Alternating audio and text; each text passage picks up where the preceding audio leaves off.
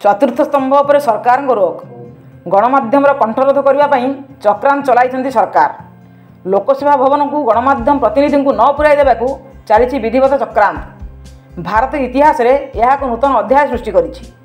ତୁରନ୍ତ ସରକାର ତାଙ୍କ ନିଷ୍ପତ୍ତିର ପୁନର୍ବିଚାର କରନ୍ତୁ ବୋଲି ଦାବି କରିଛନ୍ତି ଗଣମାଧ୍ୟମ ପ୍ରତିନିଧି। ଏହାର ପ୍ରତିବାଦରେ ଭୁବନେଶ୍ୱର ଜୟଦେବ ଭବନ ସମ୍ମୁଖରେ ସାମ୍ବାଦିକମାନେ ଏକ ଶାନ୍ତିପୂର୍ଣ୍ଣ ସଭା କରିଥିଲେ। ଏନେଇ ମୁଖ୍ୟମନ୍ତ୍ରୀଙ୍କୁ ଏକ ଦାବିପତ୍ର ଦେବାକୁ ଗଣମାଧ୍ୟମ ପ୍ରତିନିଧିମାନେ ମତ ଦେଇଛନ୍ତି। କାହିଁକି ଲୋକସେବା ଭବନକୁ ଗଣମାଧ୍ୟମ ପ୍ରତିନିଧିକୁ ବାରଣ କରାଗଲା? ସମାଜର କର୍ଣ୍ଣଧାର ହେଉଛି ଗଣମାଧ୍ୟମ। ସରକାରଙ୍କ ସମସ୍ତ ଘୋଷଣାକୁ ଲୋକଙ୍କ ପାଖରେ ପହଞ୍ଚାଇବା ଏବଂ ଲୋକଙ୍କର ସମସ୍ୟାକୁ ସରକାରଙ୍କ ସରକାରଙ୍କ ନିକଟରେ ପହଞ୍ଚାଇବା ହେଉଛି ଗଣମାଧ୍ୟମର ପ୍ରମୁଖ କାମ। ସରକାରଙ୍କର ସମସ୍ତ ଘୋଷଣାକୁ ଲୋକଙ୍କ ପାଖରେ ପହଞ୍ଚାଇବା ଏବଂ ଲୋକମାନଙ୍କର ସମସ୍ୟାକୁ ସରକାରଙ୍କ ନିକଟରେ ପହଞ୍ଚାଇବା ହେଉଛି ଗଣମାଧ୍ୟମର ପ୍ରମୁଖ କାମ। କେବଳ ସେତିକି ନୁହେଁ ଯଦି କେହି ଅନ୍ୟାୟ ଅନୀତି ଦୁର୍ନୀତି କରୁଛି ତାକୁ ଗଣମାଧ୍ୟମ ପ୍ରତିନିଧିମାନେ ସରକାରଙ୍କ ଦୃଷ୍ଟିକୁ ଆଣୁଛନ୍ତି।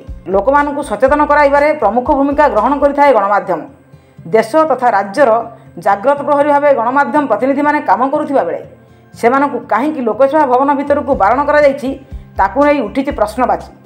କୋଭିଡ୍ କିଟ୍ କିଣା କେଳେଙ୍କାରୀ ପଦାକୁ ଆସିବା ପରେ ଏପରି ପଦକ୍ଷେପ ନିଆଯାଇଛି ବୋଲି ପ୍ରଶ୍ନବାଚୀ ସୃଷ୍ଟି ହୋଇଛି। ରାଜ୍ୟରେ ଗଣତନ୍ତ୍ର ଶାସନ ଚାଲିଛି କି ସ୍ୱେଚ୍ଛାଚାରୀ ଶାସନ ଚାଲିଛି ତାକୁ ନେଇ ପ୍ରଶ୍ନ ଉଠାଇଛନ୍ତି ବିରୋଧୀ। ରାଜରାଜୁଡ଼ା ଶାସନ ଏପରିକି ସ୍ୱେଚ୍ଛାଚାରୀ ଶାସନଠାରୁ ଏହା ବଳିଗଲା ବୋଲି ବୁଦ୍ଧିଜୀବୀମାନେ ମତବ୍ୟକ୍ତ କରିଛନ୍ତି।